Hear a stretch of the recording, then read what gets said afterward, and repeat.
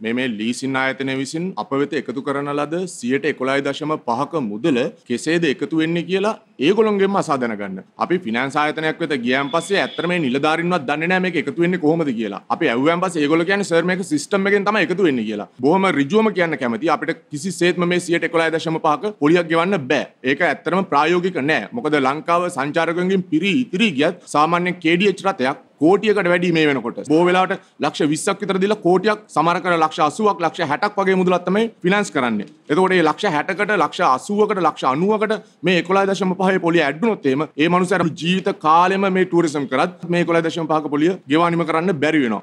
ඇත්තම අපි දැන්ටුවම් ප්‍රකාශ කරලා තියෙනවා අපේ අපිට මේ සඳහා අනිවාර්යෙන් 2022 මාර්තු වෙනකන්වත් අපිට සහන කාලයක් ලබා දෙන්න අපේ රුපියලක්වත් දැන් අපිට ආරංචියක් වෙලා තියෙනවා 20යි 21 අප්‍රේල් මාසේ මුල සිට සීසර්ලා දාලා පාතාලේ දාලා මැරකාරයෝ ඔක්කොම දාලා ඉවරලා ලීසින් කම්පැනි නීතියත් සමග ඇවිල්ලා අපේ වාහන අත්පත් කර ගැනීමට. එහෙම වුණොත් මොකද වෙන්නේ? අපි එදා සිට රටට බරක් වෙන්නේ නැතුව අපේ ශ්‍රමයෙන් රටට මුදල් උපයලා දීලා අපේ ශ්‍රමයෙන් තමයි අපි මේ ජීවත් වුනේ. අපේ වාහනේ අරන් ගියොත් අපිට මොකද වෙන්නේ?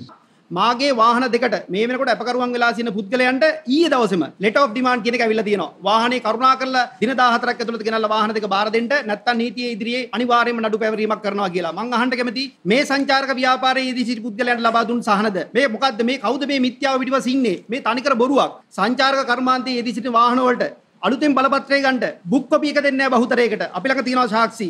ඒ වගේම සමහරක් බැංකු නිලධාරීන් සහ ලීසිං ආයතන නිලධාරීන් අපෙන් අහනවා දැන් සංචාරක කර්මාන්තයේ වර්ධනය වෙලා තියෙන්නේ ඔබතුමාලාට ගෙවීමට හැකියාවක් තියෙනවා. මම ඒකත් කියන්නම්. ජනවාරි මාසේ 21 වෙනිදා සංචාරක ගුවන් තොටුපළ විවෘත වුණාට පස්සේ සංචාරකයෝ ඇවිල්ලා තියෙන්නේ 1682යි 1682කින් 1410 1430ක් යුක්‍රේන ජාතිකයන්. ඉතුරු 200 ගාන තමයි ඇවිල්ලා තියෙන්නේ සංචාරකයන් දවස් 11කට එතකොට සංචාරකයන් 200 ගාන ට්‍රැවල් ඒජන්සිලට එක එක්කෙනා ගානවත් ඇවිල්ලා නැහැ. එතකොට එහෙම පසුබිමක් තීති තමයි අපිට කියන්නේ දැන් සංචාරක කර්මාන්තයේ ක්‍රමයෙන් වර්ධනය වෙනවා. ඔබතුමාලා මුදල ගෙවන්න ලැහැත්ති වෙන්න කියලා. මෙවැනි වැදගත්වුවත් නැරඹීම සඳහා ශ්‍රද්ධා TV නිවස් YouTube චැනලය සබස්ක්‍රයිබ් කර සීනුව සලකුණ වන්න.